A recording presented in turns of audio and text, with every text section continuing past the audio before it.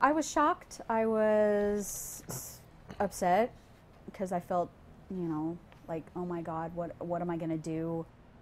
An El Cajon woman came to 10 News to try to get this husky back from an animal shelter.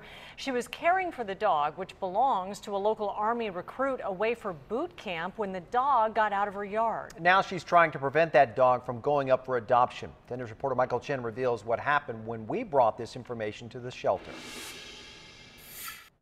Inside this home in El Cajon, a chew toy and a half eaten bowl of dog food. What is no longer here is this Siberian Husky named Landon. I was shocked. I was upset. Jennifer, who asked us not to identify her, says that was her reaction when she got home from work last Tuesday and discovered Landon gone. She had only had the dog for three days after agreeing to dog sit for a friend of her niece. That friend is in Georgia at an Army boot camp for 13 more weeks. He was going to be, you know, training to serve our country. Um, I'm a dog lover.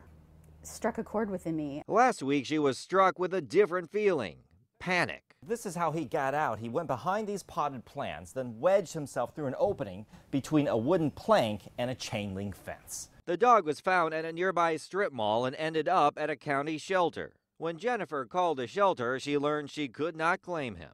She didn't have any paperwork saying she was caring for the dog, and the owner was at boot camp and unreachable. Landon has a microchip, but the owner, who bought the dog 10 months ago, had not updated the owner information. Jennifer was told Landon would be eligible to be adopted starting Tuesday. I, I was concerned for the guy that he was going to be heartbroken that something happened to his dog because I know how I would feel if it was my dog. After this interview, we brought all the information to shelter officials who told us they've decided to hold off on the adoption so they can take a closer look at the ownership claims. Michael Chen, 10 News.